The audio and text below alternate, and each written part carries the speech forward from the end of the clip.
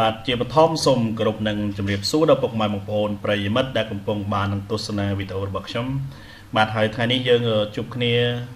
សាច់ថ្មីម្ដងទៀតហើយបាទជាមួយនឹងវីដេអូដែលធ្វើការនិយាយអំពីបាទជាប្រភេទវិញ្ញាសាត្រៀមបាទយើងត្រៀមវិញ្ញាសាសម្រាប់ការប្រឡងជំនាន់ទី1របស់យើង បាទដែលនឹងប្រព្រឹត្តទៅនៅថ្ងៃទី17បាទខែមីនាឆ្នាំ2020នេះបាទ អញ្ចឹងសម្រាប់បងប្អូនដែលជាសិស្សនិស្សិតបាទខ្ញុំគ្រាន់តែសុំជូនជា comment ខ្លះខ្លះទេ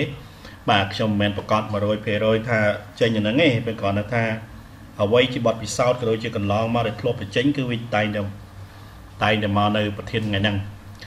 បាទអញ្ចឹងខ្ញុំសូមយកពីចំណុចដែលមកនិយាយណាប៉ុន្តែនៅថ្ងៃនេះភ្លេចប្រាប់បាទថ្ងៃនេះគ្រូសូមចេញទៅលើមុខវិជ្ជាតែងស្ដីជាមុនសិនអូខេតោះទៅមើលទាំងអស់គ្នា ថាតើអ្វីខ្លះដែលជាការព្រៀងទុកក៏ដូចជាការគិតរបស់លោកគ្រូសម្រាប់បងប្អូនត្រូវត្រៀមបាទអញ្ចឹងទី1គឺតកតងទៅនឹងតែងស្ដីគឺមានប្រធានបទចំនួន2ដែលយើងត្រូវយកមកនិយាយគឺមានចំនួន2ណាបាទទី1គឺការពរនីអំពីមនុស្សបាទអញ្ចឹងបងត្រូវចាំថាការពរនីអំពីមនុស្សបងត្រូវចាំអីបាទគឺយើងចាំទៅលើគម្រោងតែងបាទបងយកទៅរៀនតែងបាទអញ្ចឹងការសាវបងគឺមានការរីកចម្រើនទៅតាមនឹងដែរបាទ ការពរនីអំពីមនុស្សនឹងវាមានដូចជាជួនកាលគេឲ្យប្រធានបទការពរនីអំពីឪពុកបាទលោកឪពុករបស់យើងអ្នកម្ដាយរបស់យើងឬក៏ពីលោកគ្រូឬក៏អ្នកគ្រូឬក៏ជាមិត្តភ័ក្តិបាទមិត្តរួមថ្នាក់របស់យើងបាទអញ្ចឹងកម្រងតែងទោះបីទៅសេពីឪពុកក៏ដោយទៅសេពីម្ដាយក៏ដោយទៅសេពីលោកគ្រូអ្នកគ្រូក៏ដោយក៏វាស្ថិតនៅក្នុងកម្រងតែងអំពីមនុស្សដូចគ្នាเนาะអញ្ចឹងតើយើងត្រូវយល់ដឹងអ្វីខ្លះសម្រាប់កម្រងតែងនៃការពរនាមពីមនុស្សហ្នឹងបាទ អញ្ចឹងបងប្អូនបានដឹងហើយក្នុងការទៅសេតែងស្ដីគឺយើងមាន3ចំណុចបាទ3ចំណុចទី1គឺសេចក្តីផ្ដើមបាទអញ្ចឹងនៅក្នុងសេចក្តីផ្ដើមយើងត្រូវចងចាំនៅចំណុចខ្លះនៃការពរនាអំពីមនុស្សហ្នឹងបាទទៅបីឪពុកម្ដាយបាទមិត្តភ័ក្តិបងប្អូនពូមីងលោកគ្រូអ្នកគ្រូក៏ដោយគឺយើងមានប្រព័ន្ធនឹងចំណុចដូចគ្នាបាទទី1គឺឈ្មោះអាយុមុខរបរទីកន្លែងរស់នៅរបស់គាត់បាទឈ្មោះអីបាទអាយុប្រហែលឆ្នាំបាទពេលខ្លះមានបងប្អូនស្គាល់គាត់សួរថាលោកគ្រូខ្ញុំមិនដឹងទេដឹងគ្រូខ្ញុំអាយុប្រហែលទេ បាទបងអាចស្មានទៅមិនចាំបាច់ដាក់ពិតពិតទៅអីម៉ែបងទៅសេទៅគ្រូខ្ញុំមានអាយុប្រហែលប្រហែលប្រហែលហ្នឹងទៅបាទមុខរបរ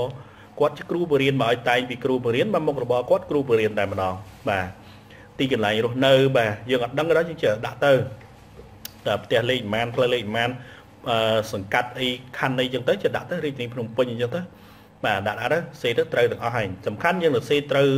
ទាំង4ចំណុចនេះគឺលោកគ្រូអ្នកគ្រូនឹងឲ្យបន្ទុកយើងទៅលើចំណុចសេចក្តីផ្ដាំ បាទបន្តមកទៀតនៅក្នុងបញ្ចប់ពីការសរសេរសេចក្តីផ្ដាំហើយគឺយើងត្រូវចុះបន្ទាត់មួយបាទអញ្ចឹងចុះបន្ទាត់មួយទៀតយើងចូលទៅទួលសេចក្តីនៅក្នុងការពរនីអំពីមនុស្សក្នុងតួសេចក្តីគឺយើងមាន3ចំណុចដែលយើងត្រូវយកមកនិយាយណាទី1គឺរូបសម្បត្តិបាទក្នុងរូបសម្បត្តិមានខ្លះរូបសម្បត្តិគឺរូបរាងខាងក្រៅដែលយើងមើលទៅឃើញបាទអំពីរូបរាង បាទពណ៌សម្បុរបាទអ្នកគ្រូមានលោកគ្រូឬក៏លោកឪពុកអ្នកម្ដាយរបស់យើងក៏ដោយនិយាយទៅពីពណ៌នេះពីមនុស្សហ្នឹងតម្រង់មុខបាទសក់ភ្នែកច្រមុះមាត់ជើងដៃនិយាយរួមគឺការពណ៌នាតាំងពីក្បាលរហូតដល់ចុងជើងតែម្ដងបាទកន្លែងនេះផងដែរគឺបងប្អូនដែលជាសិស្សសិស្សគឺពរនីបានច្រើនមែនទែនបាទដោយសារគាត់អឺគាត់ទៅសេពង្រីកខ្លឹមសារកន្លែងហ្នឹងគឺបានច្រើនណាស់បាទតែស្ដីរបស់បងប្អូនគឺបានច្រើននៅចំណុចនេះ បាទបន្ទាប់ពីយើងទៅសេចប់ទៅលើរូបសម្បត្តិហើយគឺយើងចូលទៅចំណុចមួយទៀតនៅក្នុងទូស្ក្តីនឹងដែរគឺចរិយាសម្បត្តិបាទនៅក្នុងចរិយាសម្បត្តិគឺយើងត្រូវពរនីអំពីអីគឺពរនីទៅលើអត្តចរិតរបស់គាត់បាទជាមនុស្សស្លូតកាចព្យាយាមយោគយល់ឬក៏មានអធិស្ឋានដែរឬទេបាទគាត់ជាមនុស្សស្លូតសុភាពរៀបសាររំទុំបាទពេលខ្លះគាត់ក៏ជាមនុស្សកាចនៅពេលដែលយើងធ្វើខុសអីចឹងទៅយើងយើងទៅសេបន្ថែមបន្ថយ បាទគាត់មានអធិស្ឋានល្អសម្រាប់មិត្តភ័ក្តិរួមការងាររបស់គាត់អីស្រឡាញ់ចូលចិត្តបាទយើងទៅសេទៅណាបាទពង្រីកន័យរបស់យើងនឹងឲ្យល្អទៅបាទបន្ទាប់ពីយើងទៅសេចប់នៅចំណុចទី2ចរិយាសម្បត្តិនឹងហើយក៏យើងចូលទៅចំណុចទី3បាទជាចំណុចគោលគឺសកម្មភាព បាទគាត់បានធ្វើខ្លះទំនាក់ទំនងរបស់គាត់ជាមួយអ្នកផ្ទះជាមួយអ្នកជិតខាង បាទជាមួយកន្លែងធ្វើការមានសាមគ្គីភាព គឺយើងទៅសេពង្រីកខ្លឹមសារកន្លែងហ្នឹងឲ្យបានល្អ បាទនេះគឺជាអ្វីដែលនៅក្នុងតួសេចក្តីណាបន្ទាប់ពីយើងទៅសេបានប៉ុណ្្នឹងចំណុចហើយយើងចូលទៅសេចក្តីបញ្ចប់នៅក្នុងសេចក្តីបញ្ចប់នេះគឺមិនពិបាកទេពីព្រោះវាគឺជាចំណាប់អារម្មណ៍របស់អ្នកសរសេរមកនេះចំណាប់អារម្មណ៍របស់យើងក្នុងការសរសេរហ្នឹងបាទអញ្ចឹងយើងមានចំណាប់អារម្មណ៍ទៅលើមនុស្សដែលយើងបានពរនាហ្នឹងបាទមិត្តភ័ក្តិជាឪពុកជាម្ដាយជាគ្រូអីក៏ដោយនិយាយរួមឲ្យតែជាមនុស្សណាដែលយើងបានពរនានេះយើងស្រឡាញ់ចូលចិត្តគាត់ដែរឬទេព្រោះអ្វី អញ្ចឹងនេះគឺជាសំណួរដែលយើងសួរខ្លួនឯងហើយចម្លើយដែលយើងសរសេរចេញមកគំនិតយើងគិតមិនយើងសរសេរចេញចឹងមកបាទជាធម្មតាគេមិនដែលបន្តបង្អាប់ទេបាទក្នុងការសរសេរតែក្តីណាបាទអញ្ចឹងចំណុចទី1ដែលលោកគ្រូអ្នកលោកគ្រូសុំធ្វើការ comment សម្រាប់បងប្អូនក្នុងការត្រៀមប្រឡងចុងទី1ដែលនឹងចាប់ផ្ដើមនៅថ្ងៃទី17ខែមីនាឆ្នាំ2020នេះគឺគម្រោងតែងស្ដីតាក់ទងទៅនឹងមនុស្សបាទទី2បាទ ពេលខ្លះអានេះម្ដងមកកាលទេមិនសូវញឹកញាប់ទេពេលខ្លះក៏អាចចេញប្រធានទី2នេះដែរការពរនាមពីត្រី បាទដោយសារយើងបានរៀនអំពីការពរនាមពីត្រីហើយមួយទៀតគឺការពរនីសំណេររបាយការណ៍ស្ដីអំពីរឿងនីតិអាហ្នឹងមិនដែរចេញទេព្រោះវាទៀមទាច្រើនពេកបាទការពរនីអំពីត្រីហ្នឹងក៏ក៏ក៏ចេញដែរ អញ្ចឹងពរនាមពីត្រីបាទសម្រាប់បងប្អូននៅជនបទអត់បញ្ហាប៉ុន្តែសម្រាប់បងប្អូននៅទីក្រុងភ្នំពេញអត់សូវស្គាល់ត្រីបងបាទកាលណាយើងអត់ស្គាល់ច្បាស់អញ្ចឹងយើងពរនាមទៅពិបាកណាបាទអញ្ចឹងត្រីពរនាមពីត្រីក្រាញ់ជួនកាលត្រីរស់អញ្ចឹងទៅបាទត្រីដៃអញ្ចឹងទៅបាទត្រីក្រឹមអញ្ចឹងទៅបាទត្រីក្រឹមយើងចិញ្ចឹមណាហើយការពរនាទៀតគឺវាផ្ដោតទៅលើយើងជាអ្នកចិញ្ចឹមត្រីទាំងអស់ហ្នឹង បាទមិនមែនត្រីទាំង4 5ប្រភេទហ្នឹងទេបាទមិនមែនមានតែប៉ុណ្្នឹងណាត្រីអីត្រីទៅត្រីទីឡាប់យ៉ាទៅអីចឹងណាចង់និយាយថាយើងជាអ្នកចិញ្ចឹមពេលយើងចិញ្ចឹមហើយយើងទៅស៊ីតែស្អីមួយពរនាមពីត្រីហ្នឹងតឹងតើយើងស្គាល់យ៉ាងច្បាស់បន្តិចណាទៀមទាបងប្អូនស្គាល់យ៉ាងច្បាស់បន្តិច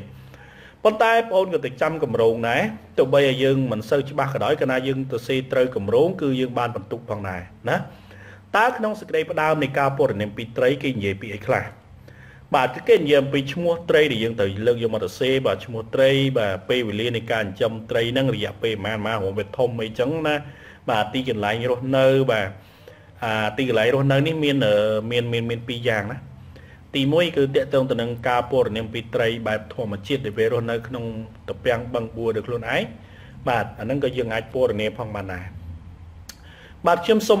comment ទៅបងប្អូនជាសិស្សសិស្សសូមបងប្អូនមើលទៅកន្លែងមេរៀនភាសាខ្មែរមួយ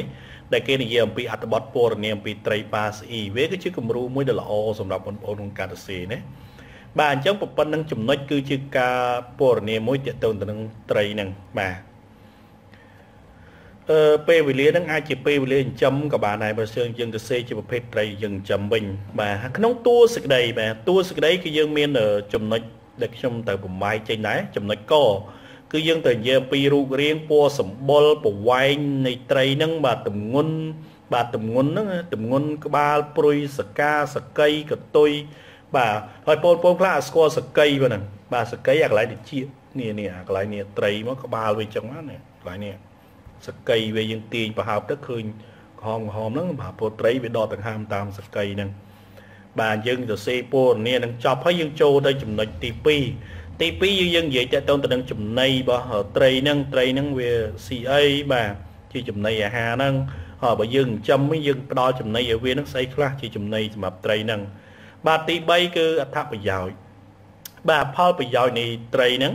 តើត្រីហ្នឹងគេអាចយកទៅធ្វើអីបានខ្លះបាទជាម្ហូបបាទជាម្ហូបអាហារដែលមានឲ្យជារសយើងអាចពណ៌នាមក បាទគេអាចយកទៅអាំងទៅចៀនទៅបំពងស្ងោរជ្រក់ស្ងអីចឹងយើងបំបាយខ្លឹមសារកន្លែងហ្នឹងឲ្យអ្នកអានហ្នឹងអានហើយគឺស្រក់ទឹកមាត់ចង់ញ៉ាំត្រីហ្នឹងមកបាទនេះគឺអ្នកដែលប៉ិនសរសេរមែនតើណាបាទហើយចំណុចចុងក្រោយគឺដូចគ្នាទេ ចំណុចនៅក្នុងសេចក្តីបញ្ចប់គឺចំណាប់អារម្មណ៍របស់អ្នកសរសេរហ្នឹងចំណាប់អារម្មណ៍របស់យើងទៅលើត្រីដែលយើងបានពរនាហ្នឹងបាទយើងស្រឡាញ់ចូលចិត្តអភិរក្សត្រីនឹងដែរឬទេ ព្រោះវាមានផលប្រយោជន៍ច្រើនដល់យើងអីចឹងយើងទៅស៊ីទៅបាទយើងដាក់សំណួរនេះក្នុងចិត្តរបស់យើងហើយយើងសួរហើយយើងយើងព្យាយាមរកចម្លើយដោយខ្លួនឯងបាទចម្លើយយើងគិតទៅឆ្លើយនេះយើងទៅស៊ីវាចេញមកបាទអញ្ចឹងតាមរយៈពីរចំណុចនេះគឺជាការត្រៀមសម្រាប់បងប្អូនដែលជាសិស្សសិស្សសិស្សបាទបងប្អូនត្រូវតែត្រៀមទៅលើប្រធានបទពីរចំណុចនេះ បាទក្នុងការត្រៀមប្រឡងទៅលើមុខវិជ្ជាតែងសេចក្តីបាទ អឺប្រហែលឆ្នាំកន្លងមកហើយគឺភាកច្រើនចេញទៅលើប្រធានការពរនាមពីមនុស្សបាទការពរនាមពីមនុស្សពីម្ដាយពីឪពុកចេញមកចំយ៉ាងមកពីគ្រូបង្រៀនបាទអញ្ចឹងបងប្អូនសិស្សសិស្សសិស្សបងប្អូនហាត់ទៅសេណាមិនមែនតែងសក្តីការពណ៌នាអំពីមនុស្សចេញមកទៅ3 4បន្ទាត់ទេបងប្អូនត្រូវចាំឲ្យច្បាស់ណែមិនមែនចេញមក3 4 5បន្ទាត់ទេហើយអួតខ្លួនថាខ្លួនអាចសរសេរបានល្អមិនមែនទេបាទបងប្អូនខ្លះគាត់តែងបាន20បន្ទាត់អីឡើងណាបាទ ទៅពិចារណាល្អបាទអរគុណសម្រាប់ការទស្សនាជួបគ្នានៅលើវីដេអូលើក្រោយទៀតបាទសម្រាប់ពេលនេះខ្ញុំបាទសុធាសូមជម្រាបលាបាទ